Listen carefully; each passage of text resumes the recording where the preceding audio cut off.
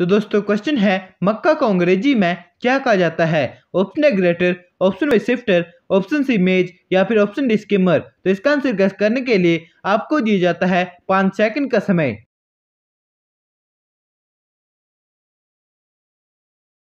तो इसका आंसर होगा ऑप्शन नंबर सी मेज मक्का को अंग्रेज़ी में मेज कहा जाता है। तो कैसे पहले आपको इसका मीनिंग पता था? कमेंट बॉक्स में ज़रूर बताएँ।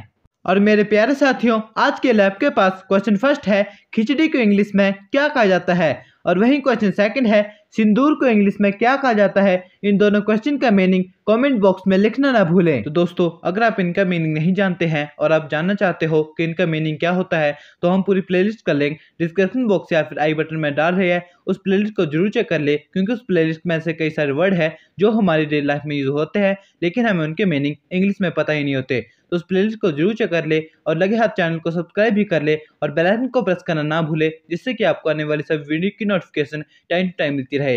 हमारी मुलाकात होगी आपसे नेक्स्ट वीडियो में। तब तक के लिए हेल्प बेटा देखते रहिए और सीखते रहिए। धन्यवाद।